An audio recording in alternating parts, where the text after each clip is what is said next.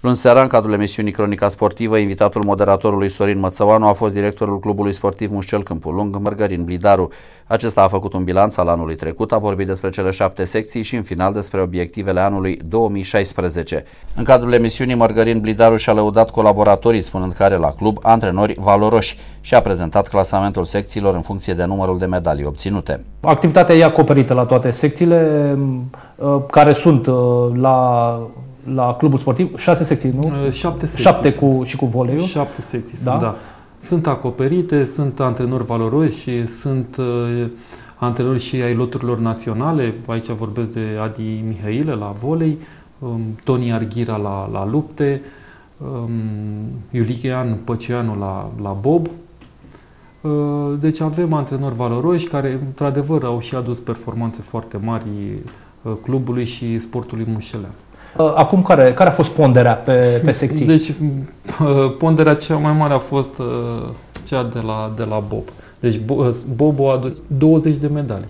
Deci, aproximativ jumătate din numărul medalilor care, care le-am avut la club. Iar restul au fost Restul, aduse? da, luptele cu 14 medalii, uh, au mai fost uh, atletismul 10 medalii, boxul 8, judo 2, sania 1 și radioamatorismul sunt fără medalii, dând și au alte, alte standarde acolo. Pe parcursul emisiunii, în filmele prezentate, Mărgărin Blidaru a revăzut imaginile surprinse de Mușcel TV la chiar prima competiție la care a participat din postura de director al clubului sportiv. Cred că a fost prima competiție, nu? La care ai da, fost da, prima prezent în această la care am postură. Fost prezent, da. Da? Existau emoții, nu? De la început, Existau, așa? normal, că uh, a fost o gală desfășurată la Câmpul Lung.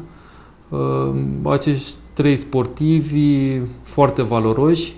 Nu a fost ocolit nici subiectul cu privire la perioada în care clubul sportiv Mușcel a rămas fără director atunci când lui Mărgărin Blidaru îi expirase detașarea. Am întrebat și la conferința de presă, au fost ceva probleme cu numirea, nu? cu prelungirea uh, detașării, uh, care expira undeva în luna noiembrie, cred că. Noiembrie, la sfârșitul noiembrie. Nu, a fost o problemă de procedură, pentru că uh, a stat, au stat, a stat uh, ordinul meu prea mult la, uh, la birou. Trebuiau șapte semnători să se face pe, pe o numire.